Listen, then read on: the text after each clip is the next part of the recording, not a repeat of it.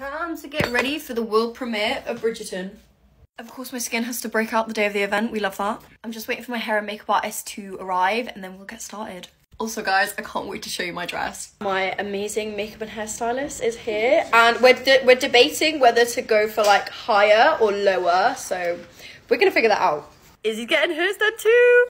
Okay, so this is what we've gone for. We've gone for a bit lower. This is Hannah's hair at the Yeah. back. Izzy's commentator now, showing the back Cute, of the hair. Cute, cute, cute. This is Izzy's hair. Okay, so we're doing the makeup now.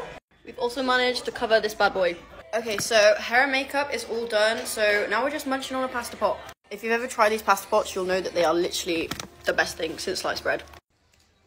Also, guys, I got sent these flowers. How cute are they? Now we are just waiting for our stylist to arrive, and she has got our dresses. I'll give you a clue. I literally look like I'm about to get married. Okay, so she's arrived, and this is a sneak peek of the dress. It is amazing. It's very big. so I am officially getting married. um, this is a crazy dress, but I absolutely love it. I've been debating on whether to wear the long gloves or the short, but everyone's voted for short because I feel like the long is a little bit too much going on, you know? On the plus side, I'm wearing gloves.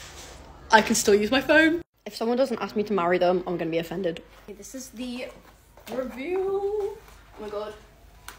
Just to give you an idea, look how big the trail is. I thought the tiara was a little bit too much, so I've gone for these vintage earrings instead, which I'm obsessed with. Sorry, I'm just like holding my iPhone charger.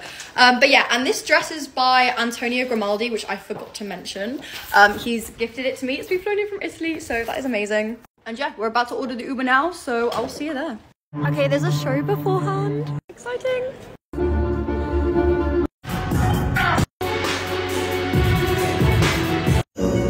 Okay, so this is all of the red carpet. We're about to get our photos.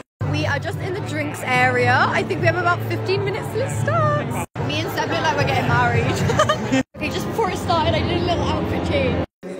And here we are.